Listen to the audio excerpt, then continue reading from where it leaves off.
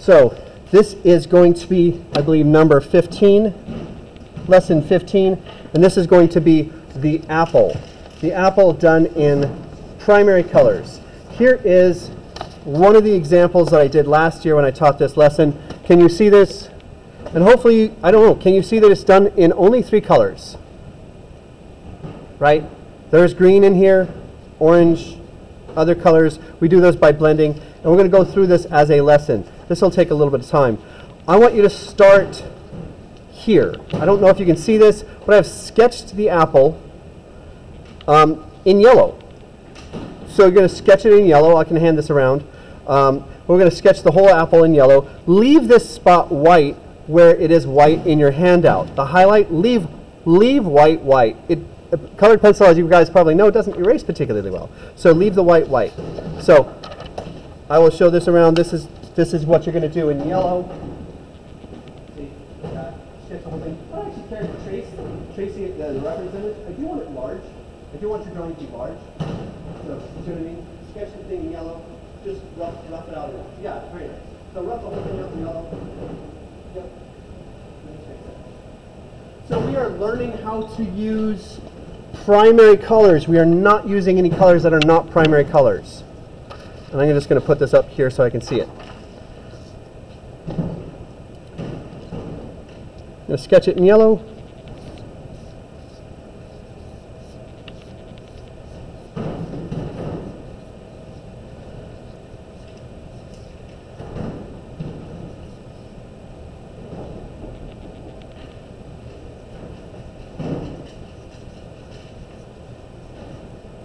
And once you kind of have that outline done in yellow, we are going to move toward this, actually. So you can kind of see this. I'm going to do some lines in the indigo to give it structure.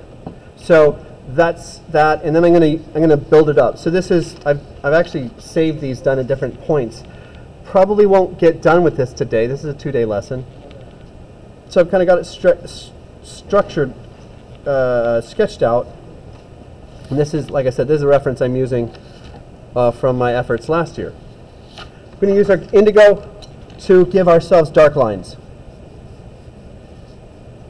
Indigo is going to be the main part of your shade color, and it will take your reds and make them much darker red without actually going quite as purple as you'd think. I don't know if I like the shape of this apple, but that's okay. Huh?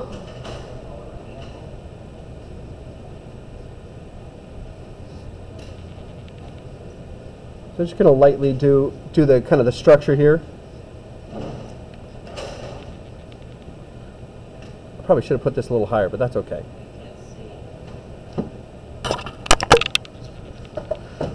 Well, this is really done for the people at home more. Um, so what we're doing, once you've got it sketched out in, in yellow, then we're going to just do some of the darker lines. Anywhere that's dark, you kind of go over that with your indigo and give yourself some basic structure around it. So that's kind of what I'm doing here. I'm going to shade the bottom of it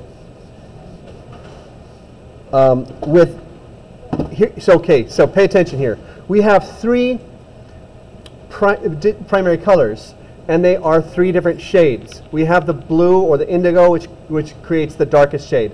Yellow is the lightest, right? And, and red's in the middle, middle.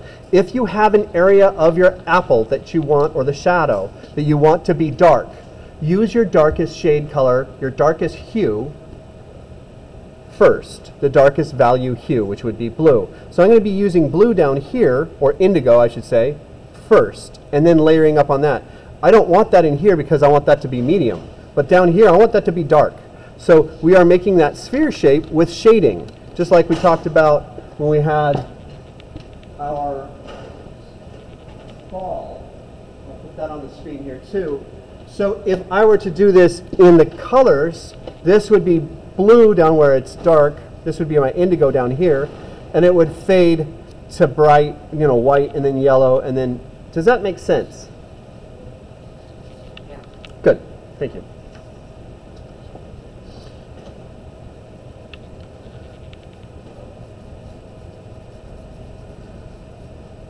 So shade with the indigo first.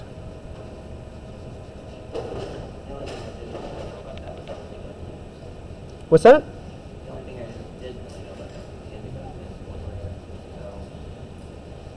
Indigo is an excellent shade shade uh, color. Anything that's, like I said, anything that's going to be really dark, you're going to want to have indigo in that anyway. So go ahead and just go over that with some indigo. The indigo does not make the nicer green color. You're going to use a little blue for the green color mixed with yellow. And I should let you guys know that the reason why I have you do this in primary colors and not try to pick the specific colors that you want is because as an artist, you often don't actually have the, the exact color you want. You have to blend it and mix it. So whether that's in, in paints or pastels especially, or um, anything else, so I want to teach you how to blend colors, or at least have you practice it.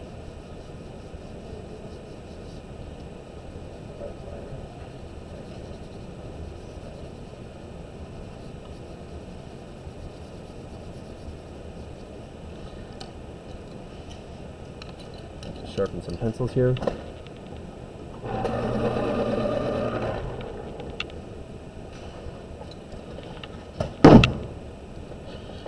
Before I get into red, I'm going to take my yellow, light yellow, I'm going to go up to, over the top where this would be, light yellow over in here, leaving the middle, that section white. I'm going to fade through here, and then I'm going to be using dark yellow too. So I'm going to do light yellow to dark yellow, but leaving this spot in here white.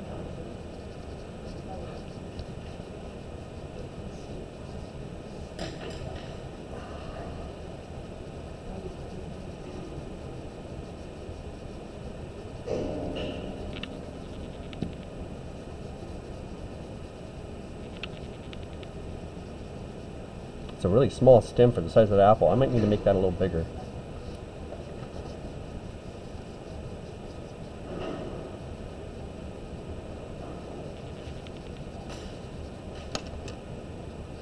So doing did the dark yellow, I'm going to do the sorry the light yellow, and now I'm going to do the darker yellow a little bit. I can't see very well.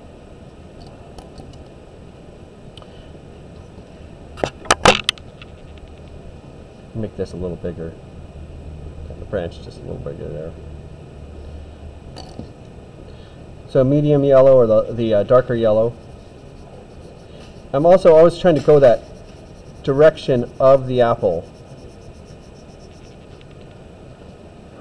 Sketch the apple in yellow first. Good. And then where it's shaded, do it in indigo.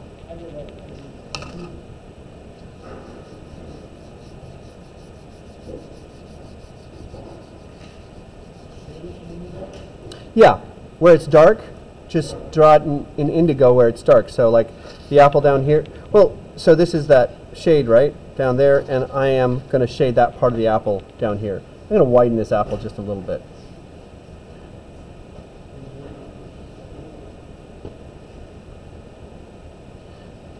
Now the reason why we want to go dark where it's going to be darkest is because the the colors, uh, yeah, and the, the, I plugged that one in over there. So the colors will, the, the paper will stop you from taking so much, um, it, it only can take so much colored pencil.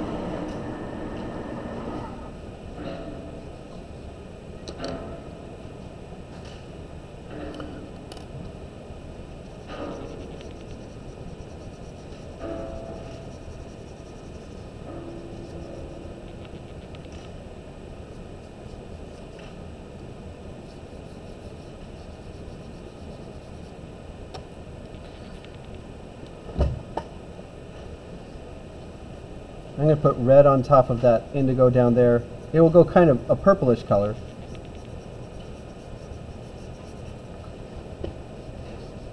Oh, great, broken.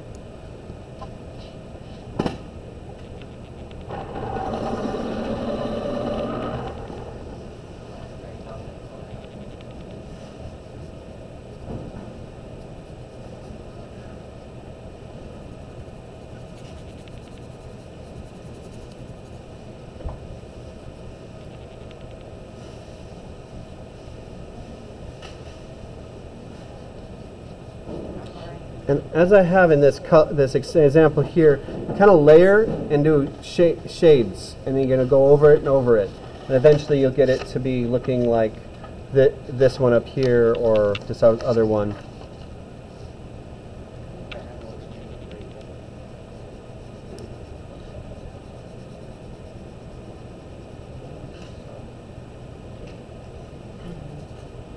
Again, broke the lead.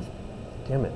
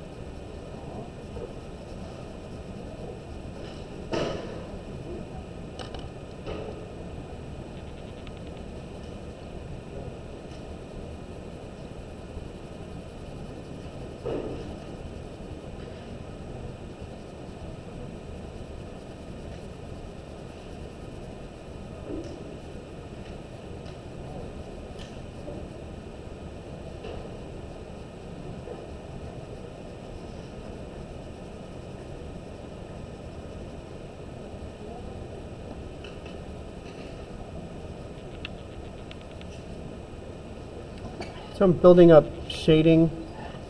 So right down here in the bottom, it's kind of a nondescript color, but it's actually rather purple. That layer of red and indigo creates a very purple color. But it, in the shadow, I find it does look very, um, it does look very shaded. It doesn't actually end up looking as purple as you'd think. And if a thing, something looks too purple, what color can you add to make it look less purple and more neutral or brown? Guys know? Exact opposite color on the foreground. Exact opposite color on the color wheel is a correct answer. What is opposite of purple? So purple is a secondary color. If you're going to pick the opposite, it's going to be a primary color that does not have those two components which make the secondary color. Correct, it would be yellow because purple is made from what two colors? Red and blue. So the, the remaining primary color would be yellow, and that is the opposite. So if something looks too red, what's the opposite color of red? green because it's the secondary color which is made up of the other two primary colors that are not that. So if I have something that's too too um, red in my apple here, and I'm only using primary colors, what colors can I add? Green, so blue and yellow. If it's too yellow? If it's too yellow, you add a little bit of blue and a little bit of, of red to make it a darker looking yellow, uh, and very, very lightly. So you want to just very, very, very light, layer them on very uh, lightly. Probably in this case, you probably want to start with your red, just a little, little red. And if it's too orange, then, then you add your blue. Okay, but go slowly on, on that because yellow, if, if you're wanting it to be pretty bright still, those two colors can really um, overpower. That's a good question.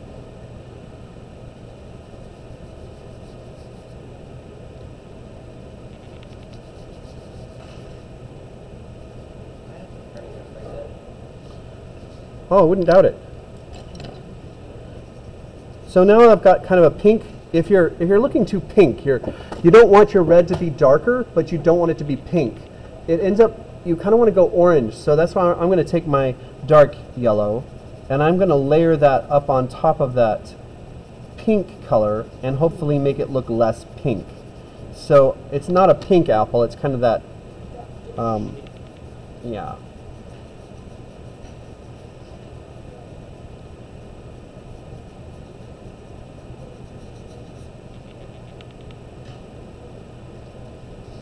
Hopefully this gets us, thinking about color a little differently.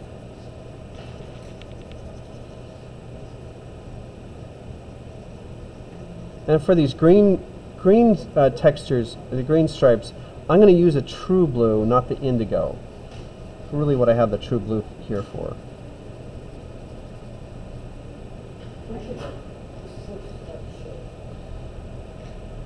You are being recorded right now. To say.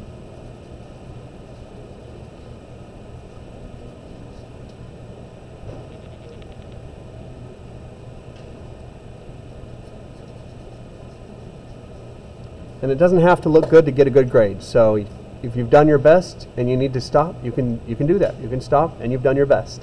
Just don't uh, just keep keep whatever it is. So don't throw away your, your effort. Uh, just make sure it stays in your portfolio that gets graded. But uh, don't stress about it looking just perfect. You're, you're doing you're doing just fine.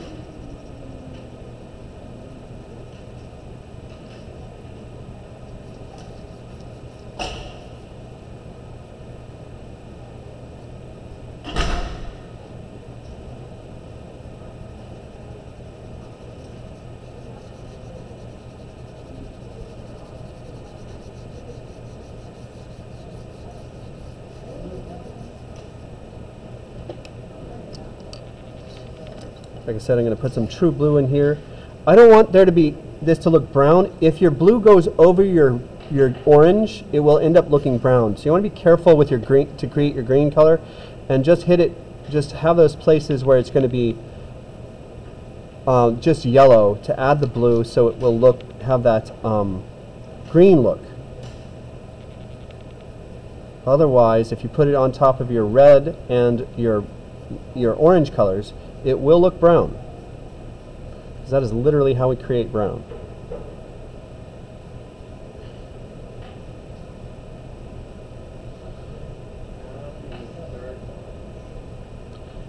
What's that? Um, in a manner of speaking, sure.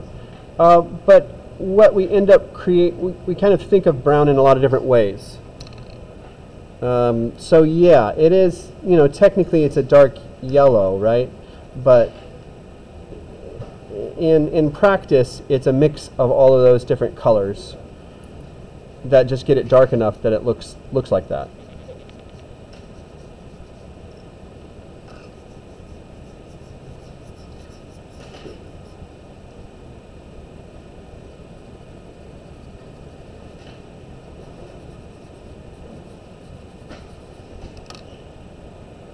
Slowly and surely, it's coming together here. Yeah, clean, clean up time. Put that aside. Gonna stop class right there, and this is part one. We'll finish it up next time. Thank you.